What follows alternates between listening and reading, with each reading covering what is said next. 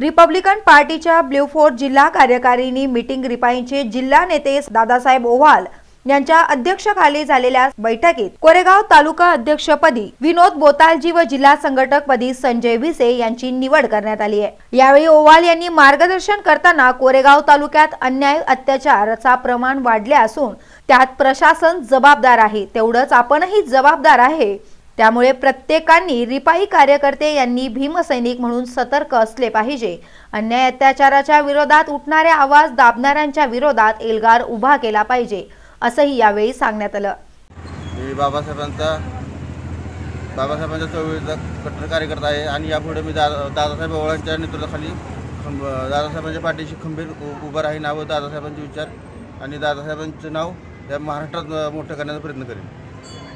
जय भीम. प्रकाश बोतालजी आणि माझे जिल्हा आपलं कोरेगाव तालुका कार्याध्यक्षपदी निवड झालेली आहे.